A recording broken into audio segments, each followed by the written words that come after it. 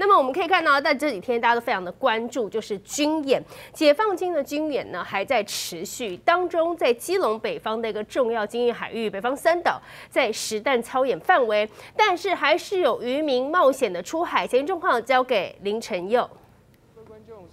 人的位置呢，就是在基隆的正滨渔港这边。然后呢，各位可以看到，其实现在虽然呃解放军的军演持续，可是呢，在渔港这边依旧呢是有渔民今天一早就来到渔港这边作业。然后在稍早的时候呢，我们依旧是有看到渔民哦在卸下渔获。也就是说呢，今天其实虽然说军演持续，这些渔民依旧是照常的出海，而且呢，现在也看到有不少的渔民哦，那么稍待会呢，也都会有继续的。来把这个。油加满之后，船只加满油之后呢，就会再出去出海去捕鱼。那么在这一次的军演呢，其实基隆的重要的海域、北方三岛这些重要的海域呢，就是列在这一次的演习范围之内。也因此，现在哦，有不少的渔民都觉得现在正是在捕小卷啊，然后呢，捕小卷的旺季。可是如果被这个军演影响的话，恐怕会影响生计。因此呢，还是有照常的。出海捕鱼，然后现在呢，在记者的左手边，你也可以看到有不少的渔民现在是在处理这个缆绳，因为呢，这个缆绳在处理完之后呢，他们预计稍待会仍旧是会照常的出海捕鱼。那么在这边呢，我们也访问到了这个船长哦，我们来询问一下，到底这一次的军演哦，对于整个渔船的捕捞会有什么样子的影响？那么船长早安，嗯，好，那。对，呃，船长，我们想问一下，因为其实现在这个大陆解放军军演正在进行当中嘛，那对于呃渔民的捕捞的作业，会不会有一些的状况？哦，我们捕捞的地方哦，那个渔区不是他们演习的地方啊，嗯，他们演习是在有有有区域的啦，但是我们那个地方好像没有影影响到，我们没有不影响到我们捕鱼的那个那个作业。所以等于说，那个地方虽然说已经有划设出那个演习区域了，可是你们会避开那个区域，就对。哎，对对对对，那他他他有划分演习地区，我们只要不不要进入他演习地区就没没事了。嗯哼，那附近会有相关的人员可能在巡守嘛？比方说，就很担心这些渔船可能真的到这个演习区域里面。哦，但是因为 我们也怕危险啊，我我们也不会随便进入他们演习区啊。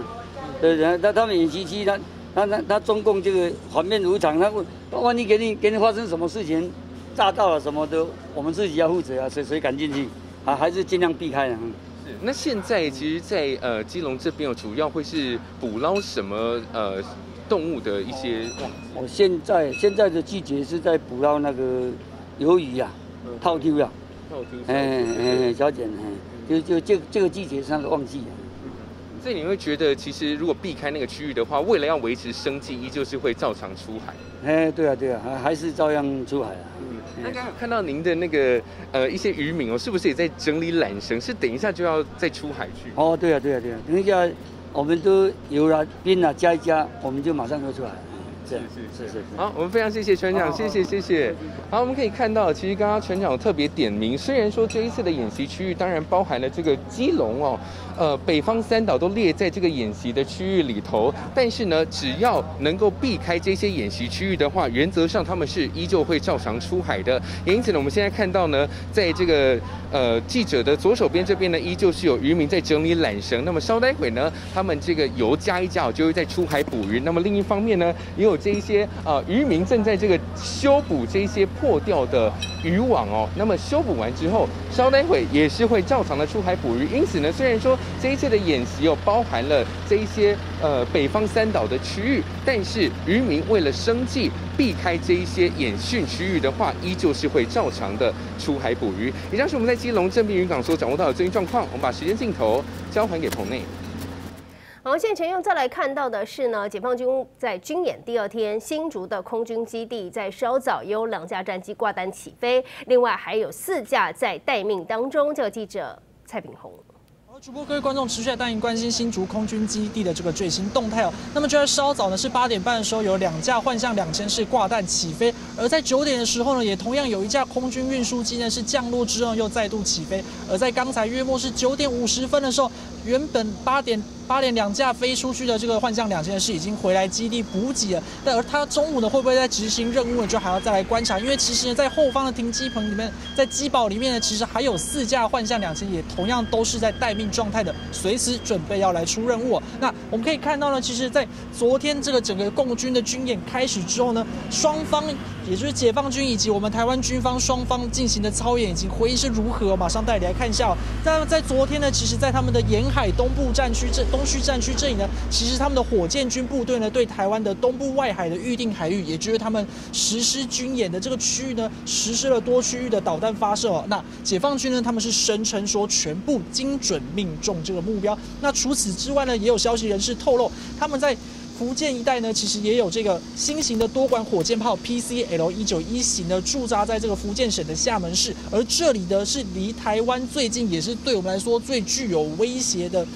威胁的整个配置之一哦。那么在昨天的这个东区战区呢，其实包含说像歼二十等等的战机呢，也有在联合演训进行出动。那么在解放军这边演训之后呢，我们台湾方面的演训又是如何呢？昨天呢，在屏东呢，就有民众目击到呢，是有自走炮以及榴弹炮等等，那么重炮射击训练。那军方回应说这是天雷操演，而民众又目击到说，在恒春机场这边呢，其实有多架的阿帕奇战斗直升机以及无人机呢，都来进驻恒春机场。那么军方回应说，这是在进行这个陆空联合作战操演。那么另外一部分呢，在台中清水的这番仔寮呢，也有实施火炮射击训练，一共是射击了四十二发。那他们声称是例行保养的射击训练。军方的回应都是说呢，这些操演、这些训练都是既定的训练项目之一，与这一次解放军的军演是没有关系的。但其实现在时间点非常的敏感，所以呢，外界也解读说呢，这些军演呢，其实也就是来回应这个解放军来说，其实台湾这边也是都做好准备的。那其实呢，在昨天呢，还有五枚的这个飞弹是落在日本的专属经济海域，而其中四枚呢是落呃是有越过这个台湾上空的，那也引起了部分民众的恐慌。不过呢，国防部的这边回应是说呢，其实飞弹的落点他们都有全盘的掌握，而且呢，昨天飞弹呢其实是在大气层之上的，所以呢，在这目标过高而且没有要落在台湾本岛的情况下，我们就不会出动爱国者飞弹来进行拦截哦，也要请民众是不要过度的恐慌。那以上是现场这个最新情况，把时间镜头再交还给棚内主播。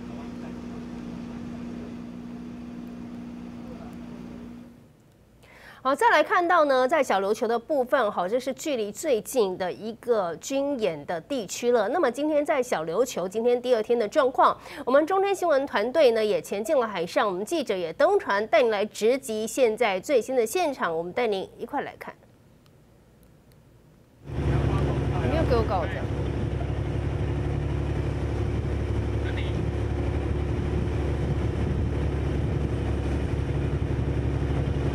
主播各位观众，中天新闻团队与您一起来关心裴洛西议长离台之后，中国大陆实行三天军演目前的最新状况啊。那么记者目前所在的位置是位在于屏东的小琉球。那我们透过镜头画面可以看到，目前远处的地方其实就是距离这个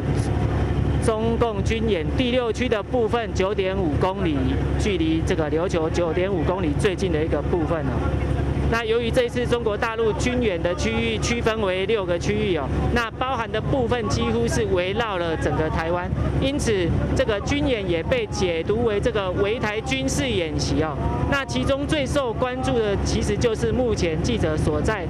位于第六区的部分，也就是针对这个高雄、屏东南部区域的部分。那距因为距离小琉球只有九点五公里，可以说是相当的接近哦。因此，小琉球的渔船在这三天的时间，通通是进港，没有出海捕鱼，因为也避免受到这个军事演习的影响。但是有不少渔民也纷纷表示，因为担心这个飞弹试射的关系，因此都先进港避风头。但是也不免抱怨说，这因为这三天的这个演习的影响哦，大概也损失了十几万。不过透过画面我们可以看到，目前海上目前状况其实是比较平静的，并没有看到这一个任何军事演习的一个状况。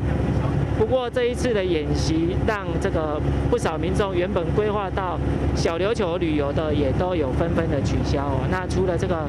海上的影响之外，这个航空的部分也造成了一个很大的影响。